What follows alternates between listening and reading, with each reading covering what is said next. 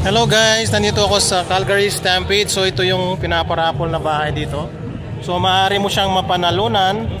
Kailangan mo lang bumili ng ticket. So ito nakakahalaga ng 1.3 million lang naman. In Canadian dollars. Ayan siya. Ayan. So tingnan natin yung loob niya. So ito yung Calgary Stampede pala para siyang malaking perya. Ayan siya, nakapalibot.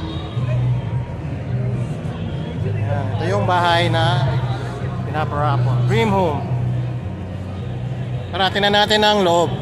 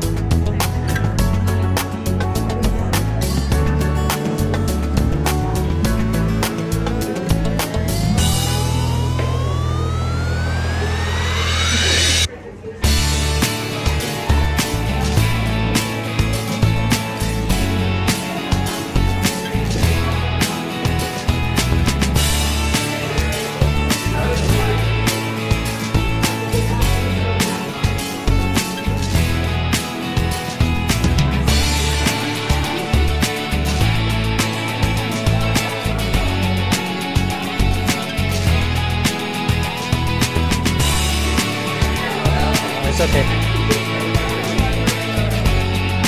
You're good, you're good. Thank you.